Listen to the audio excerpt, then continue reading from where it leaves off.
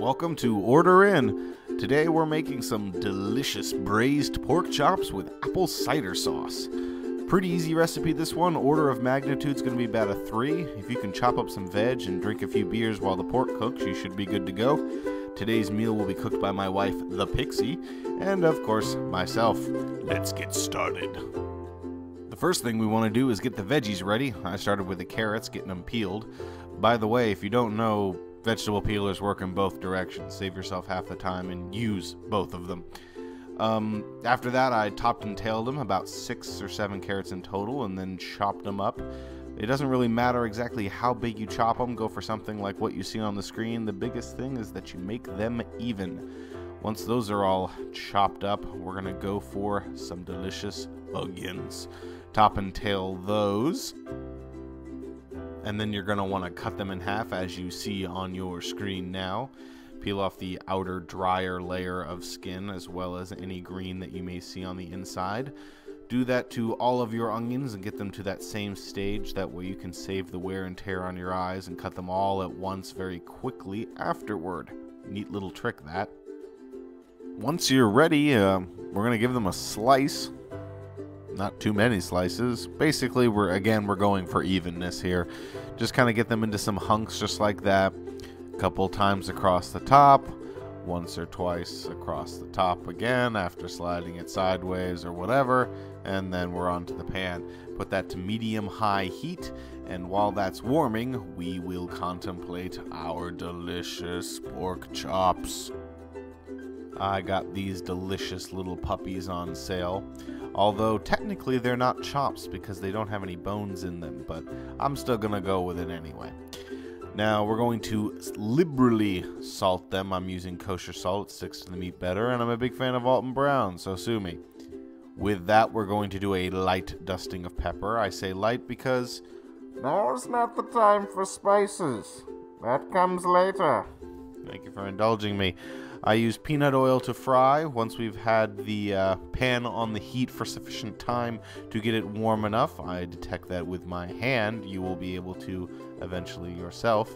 Pour in the oil. It should begin to shimmer, which is something you will see. Try to pour cold oil into a pan and then hot oil, and you'll see the difference. Get the meat into there. We're looking to brown the bottoms, give them a little bit of color and a little bit of flavor. Um, I didn't get them quite as brown as I wanted to. This pan being aluminum, I guess, didn't want to give me the same brand my uh, stainless steel pans will, but I didn't have a stainless steel pan big enough to support four pork chops and the sauce necessary to cook them in. So I'm dealing with, as you will every once in a while. It's part of cooking. Once all of the pork chops are sufficiently browned, we will reserve them on a pan and get that fond off the bottom of the pan, all those delicious meat juices. If there's not enough fat to roast these onions, you might want to add a little bit of butter. I know I had to. You're going to give those a toss with a heavy pinch of salt to draw out the moisture to melt that deliciousness off the bottom of the pan.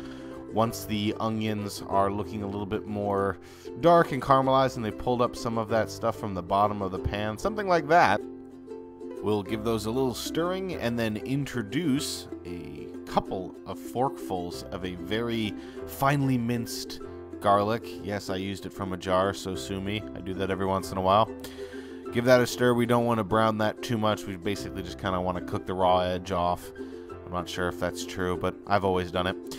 Once that's done, we add our root carrots. I think they're roots. We're going to take the edge off of these as well, but a bit more literally we are going to cook these carrots in the onions until literally the edges soften a bit. Once they do, we're going to add a nice big glollop of some spicy mustard. As you can tell, I did measure it, and I don't expect you to do so either. Look at that and kind of estimate. Same thing with the Worcestershire sauce. Good splash of that. Um, to that, we will add the rest of my bottle of apple cider vinegar. And then the second star of the show, a bottle of apple cider bitch drink. I don't really know any other better way of putting it. Stir it all up, kind of get it homogenized. Once you've got that mixed together, I hit mine with a little bit of black pepper. I suggest you do the same. Once I've got that mixed in there, it's time to introduce the meat to the sauce. Lay each one of the pork chops into the sauce, kind of nestle it in there, get it below the water line. Again, this recipe scales really, really well. Just kind of adjust the amount of all of the ingredients to how many pork chops you're cooking, and it should work out pretty well. Double, triple the recipe, or cut it in half. Doesn't really quite matter. Once we have all of the pork chops nestled into that deliciousness, we will lid up le pot, complete with meat juices on the top of it, and place it within a preheated 300 degree oven for about an hour and a half to two hours.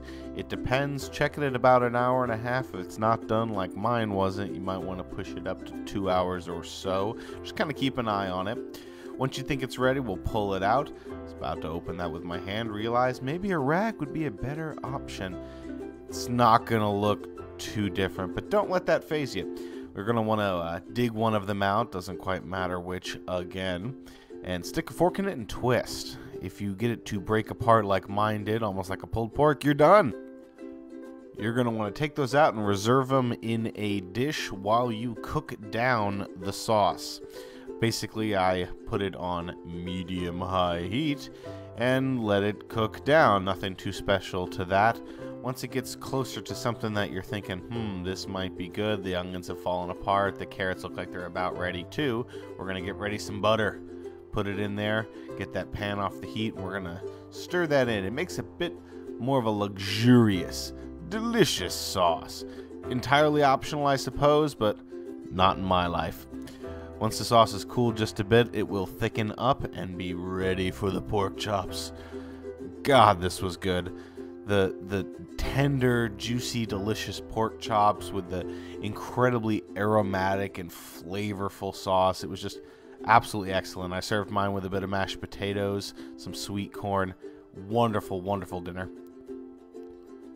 So ends the very first pilot, I suppose, episode of Ohrter In. I really, really enjoyed recording and uh, making this work. This is the absolute very first video I've ever produced on uh, any kind of scale, and I think it's gone pretty smoothly overall. Let me know what you guys think, like and favorite. I'll continue doing this so long as people are interested. And remember, why order out when you can hang with me and order in?